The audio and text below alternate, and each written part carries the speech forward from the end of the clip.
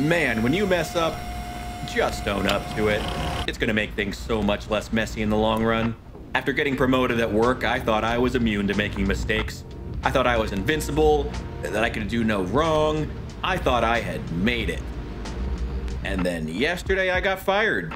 And it was only like, like 60% my fault. But my biggest mistake by far was, you know, refusing to own up to it when I got my coworker killed. So don't make my mistake, boys and girls. Just tell people when you mess up instead of trying to hide it. Well, I guess that's the story we're going with this week. Hello, ladies and gentlemen. I am Richard, and I am so glad that you could be here today.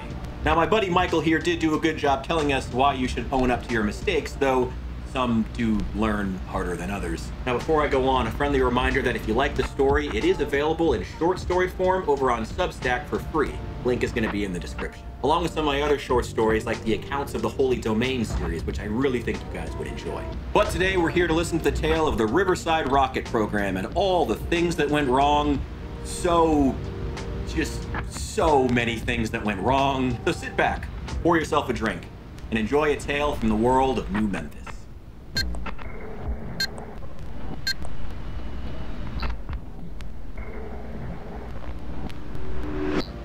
Not that I would ever brag, but I build rockets for a living. Or at least I, I did. My father used to tell me stories about the long, long ago when mankind stepped foot on the moon and battled the bloodthirsty moon people who hate freedom and barbecues. But that was a very long time ago. Until one day I was working in New Memphis as a clerk at the patent office and a man submitting designs for a new type of engine asked me, Son, you know anything about physics? And I told him, Nope, but I know chemistry when I see it.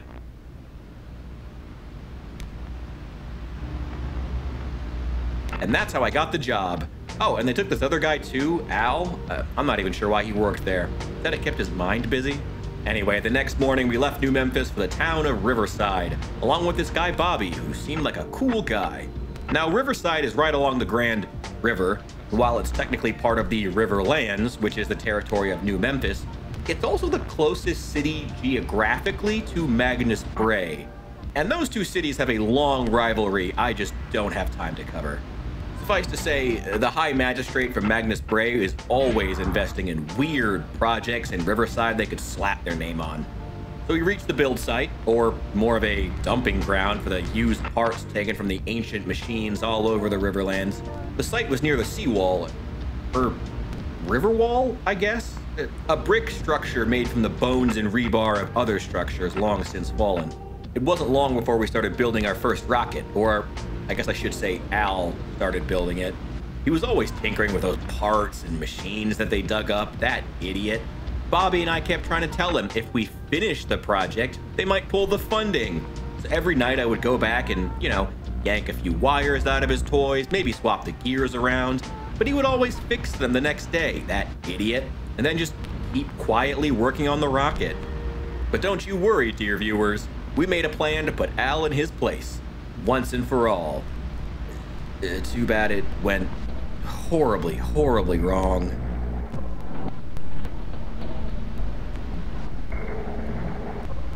Okay, so the plan was simple. If Al liked rockets so much, Bobby and I would give him the chance to test one out. So one day, after waking up at noon and arriving at work by 4 p.m., Bobby and I walked in to find him already there working. The tryhard, already having replaced all the wiring we worked so hard to pull out yesterday. But today was different. It was something in the air we could just feel as soon as we got there. This presence.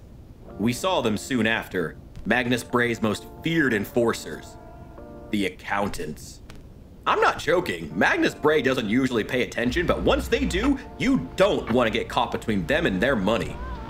That's why I was working so hard to rip all that wiring out. If we actually finished the project, the High Magistrate would send someone to like ask questions, hold us to account, test our work. We didn't want that. But despite all my careful planning and hard work, the accountants had come anyway, and they had a lot of questions I was struggling to answer, like, how do rockets work? Luckily, I had an answer for that. Not only do I know how rockets work, I know how to make rockets work for you.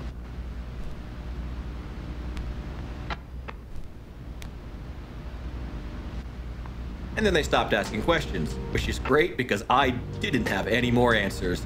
But at least my job was safe. For now.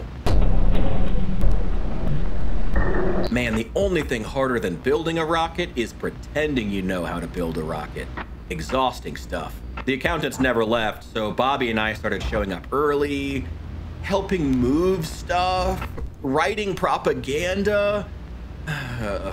All the important things that needed doing.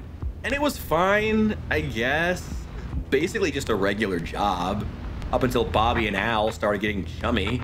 Then they started hanging out outside of work. I mean, come on. Bobby seemed like such a cool guy. We were going to blast Al into orbit like two weeks ago, but now they were friendly?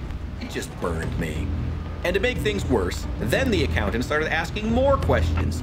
Something about cutting waste. If they wanted to cut waste, Bobby was the obvious choice. He wouldn't even help me rip wiring out of the rocket anymore. Did I even know how rockets work? Of course I know how rockets work. You just press this button here,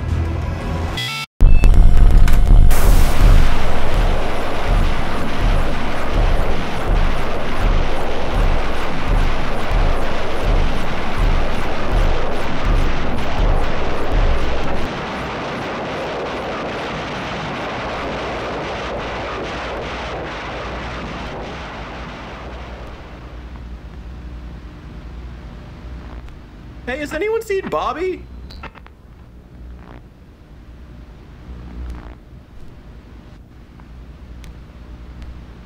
Now, we weren't totally sure that Bobby was on that rocket, which is exactly what I told the accountants. I am not totally sure that he was on that rocket.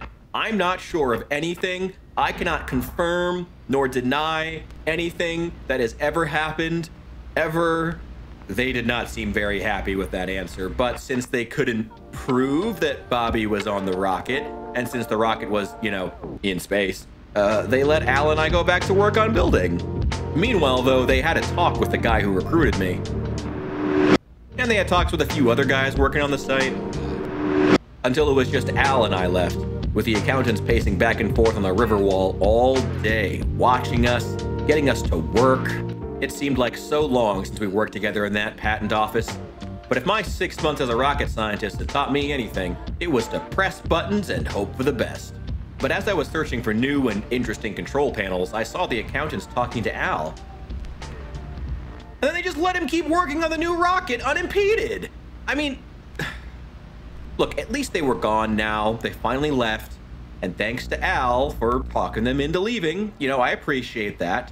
So I went up to him and I said, You know, man, I don't blame you for what happened to Bobby.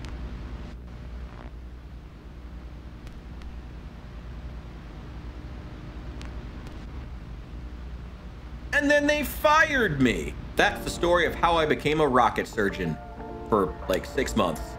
But hey, you know, at least uh, at least nobody found out what happened to poor Bobby. Thank God for that.